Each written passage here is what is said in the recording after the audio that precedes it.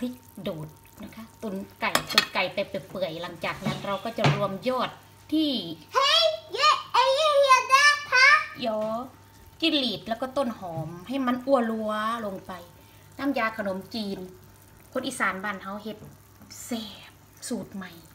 ไฟแรงแซงทางโค้งรวดรวดไปเลยจ้า